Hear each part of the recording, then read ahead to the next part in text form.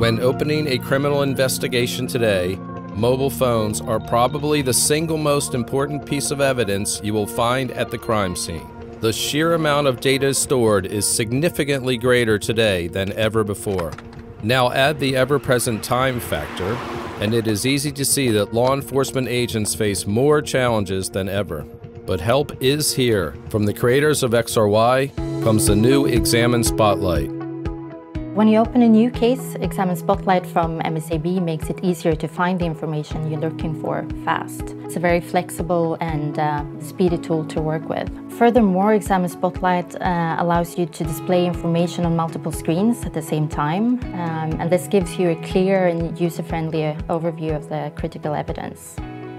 Plus the improved uh, exporting functions simplify reporting and makes it easier to uh, make more valuable progress during the early stages of the case.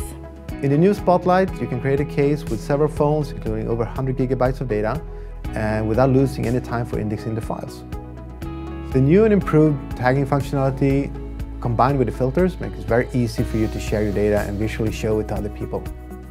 For deeper analysis of an artifact, in Spotlight, we have the source mode that allows you to analyze the hex data directly on the artifact within Spotlight itself.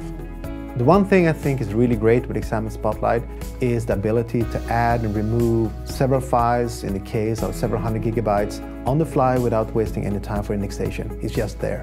This is truly the flagship tool of our new suite of XAMN analysis products.